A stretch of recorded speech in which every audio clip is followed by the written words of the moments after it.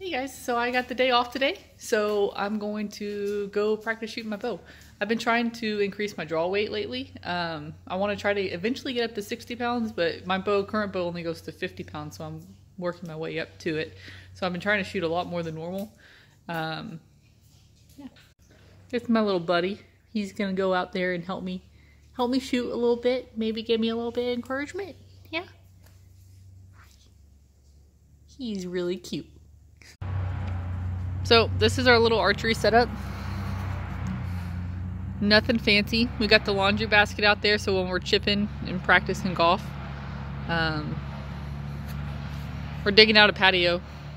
That'll be done soon, hopefully. And we got our little bow stand just made out of some PVC pipe. Let's see how we do. So my bow is the Eva Shockey signature series. Um, like I said, it's just, just a 50 pound bow.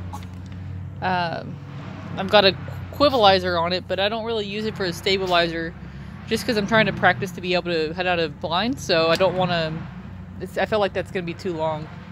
Um, I've got the Fast Eddie XL, um,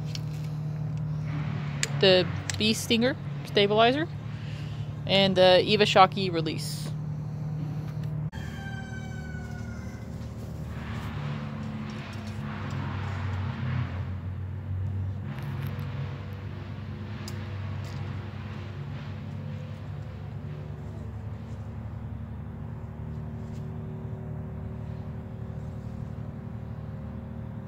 Hey.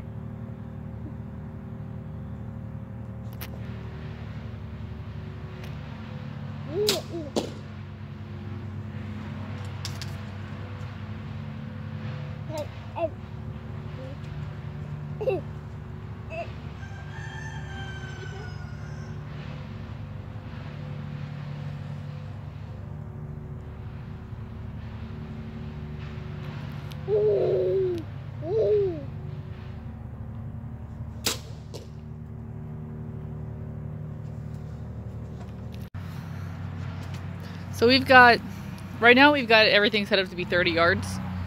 Um, we got the capability to go out to like 60. Uh, 70 we'd be standing in the road. We just open up our gate and move the target over and shoot from there. We actually split our yard so that way the dogs can have one side and we could have the other side and not have to worry about stepping in dog poop or them messing with our stuff or anything like that. Um, like I said, there's our little thing. It's got some golf balls in it. So that way we can practice chipping too. See how, let's see how my first shots went. Oh, I broke an arrow.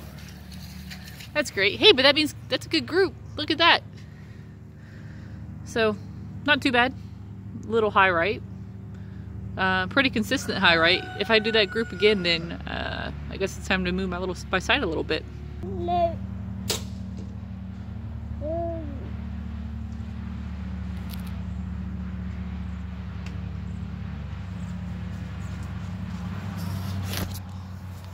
Well, let's see how those turned out. One of them was way high right, but still would have been a dead deer. The other two aren't too bad though. We've had a bunch of rain and the ground is like really wet and I'm wearing tennis shoes and my feet have already gotten wet coming out here.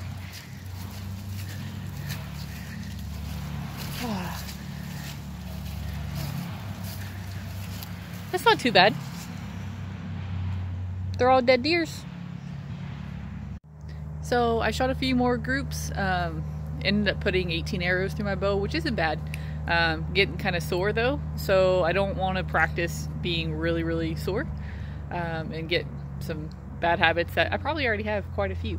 Um, and also this little guy, he's getting a little tired. So we're gonna go in and take a break.